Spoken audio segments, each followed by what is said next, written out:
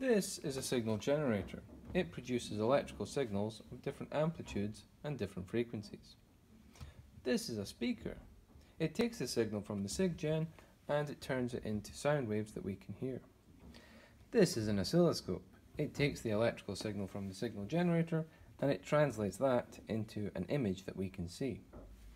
If I increase the amplitude of the signal, we will see the beam on the oscilloscope bounce up and down, tracing out the shape of a wave.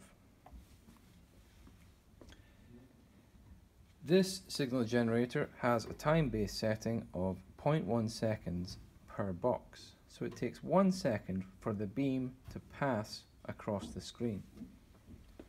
The signal generator is currently set to produce a 10 Hz signal. That means 10 wobbles every second, or essentially one wobble per box.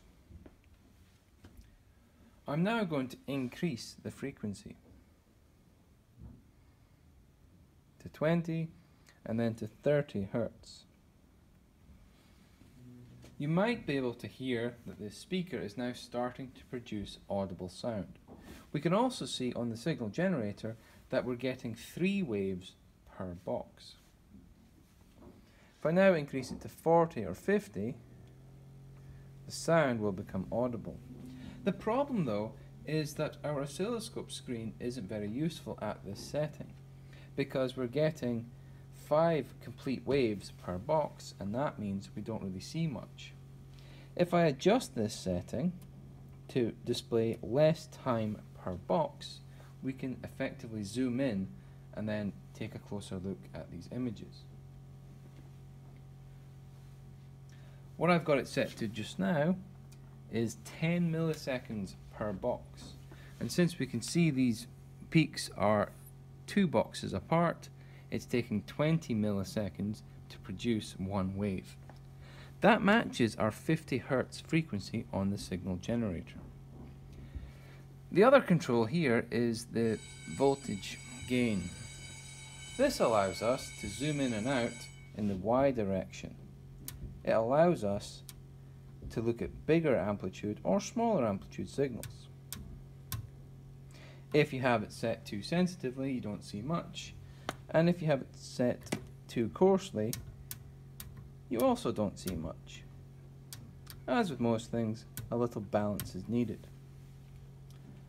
I'm also able to adjust the signal to produce a taller or taller wave on the oscilloscope and a louder sound from the speaker. Notice that adjusting the volume or amplitude here does not affect the frequency of the waves. It just stretches them in the y direction. If I now adjust my signal generator to 10 times 5 Hertz, I yet again get 50, so it's the same signal. But now what I can do is adjust this and go through a wider range.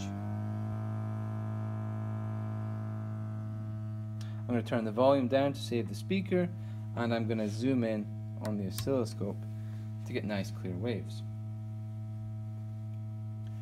I can also increase this frequency much further. This is 20 times 10, 200 Hertz. And again I can zoom in. In general, when you increase the frequency, you're going to see more waves in a certain amount of time.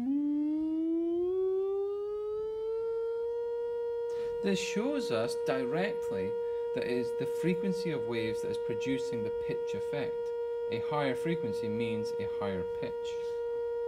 If I adjust the volume or the amplitude setting on the dial, you'll see the waves get less tall. This is a quiet sound wave we're hearing, a low amplitude wave that we're seeing. Amplitude is shown to be linked to the energy of the wave. The last thing we can see, if I go to times 100, sorry, times 1000, I can set this dial to about 10 times 1000 or 10,000 hertz. Again, I need to zoom in to be able to visualize the wave.